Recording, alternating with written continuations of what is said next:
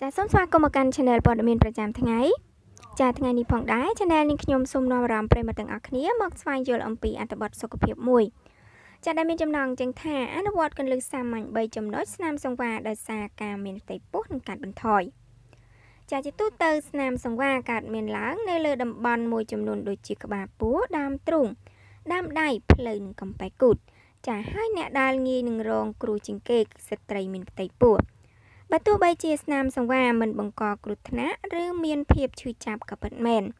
ប៉ុន្តែវាជាក្តីអាម៉ាស់មួយសម្រាប់មនុស្សស្រីគ្រប់រូប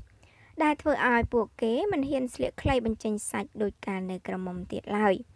មូលហេតុនេះហើយទើបមនុស្សស្រីមួយចំនួនខំស្វែងរកផលិតផលជាច្រើនដើម្បីបំបត្តិស្នាមសង្វារនេះចោលទោះបីជាចំណាយលុយច្រើនក៏ដោយចាទោះជាយ៉ាងណា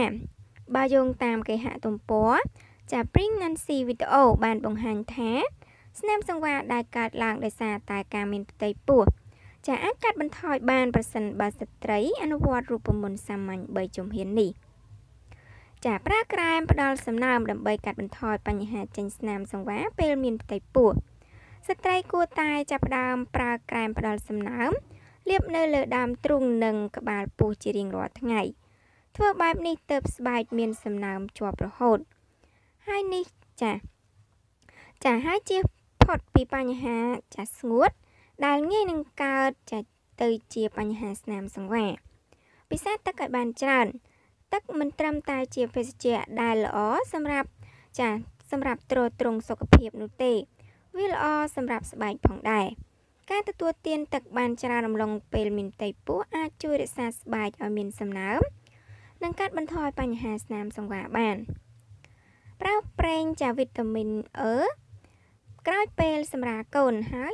អ្នកចាឈប់បំបើកដោះកូនចាអ្នកអាចប្រើប្រេងវីតាមីនអឺមកម៉ាស្សាត្រង់តំបន់ដែលកើតមានស្នាមសង្វារប្រេងមួយប្រភេទនេះនឹងជ្រាបចូលយ៉ាងជ្រៅទៅក្នុងស្បែកនិងជួយជំរុញដល់ការផលិតស្រទាប់កូឡាជែនឡើងវិញចាដែលធ្វើឲ្យស្នាមត្រូវកាត់បន្ថយ។